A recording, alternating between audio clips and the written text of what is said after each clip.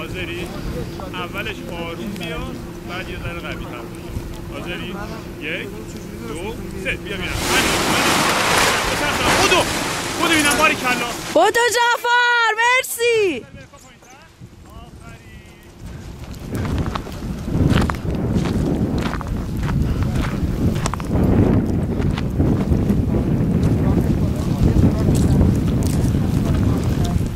جمعش کن.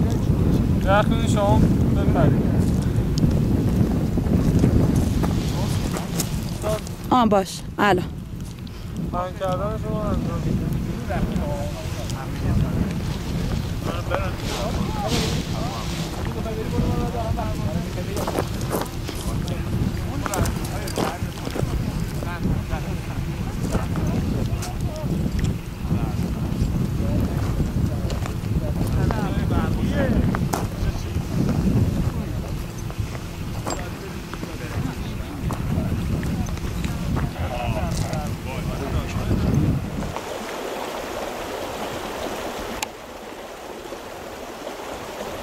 مسیرتو تغییر نده دیگه نسیم. مثل دیروز تغییر نده نسیم مسیرتو حالا از سمت چپ 45 درجه چپ 45 درجه.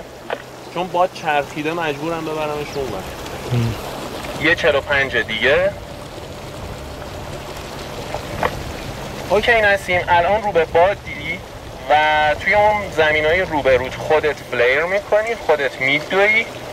و بالتو جمع می‌کنی میاییم برمیگردونیمت این ور.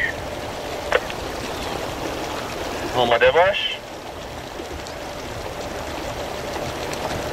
مرسی خانوم. متشکرم.